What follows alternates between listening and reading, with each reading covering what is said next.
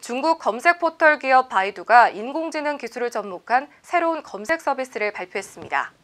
바이두의 간단 검색 모바일 앱은 AI 기술을 통해 성인과 아동의 목소리를 구별하는 목소리 식별 기능이 탑재되어 있습니다. 리엔홍 바이두 CEO는 중국 국제 빅데이터 산업 박람회에서 간단 검색을 통해 수많은 사람이 서로 다른 검색 결과를 볼 수 있게 할 거라며 목소리에 따라서도 다른 결과가 나온다고 설명했습니다.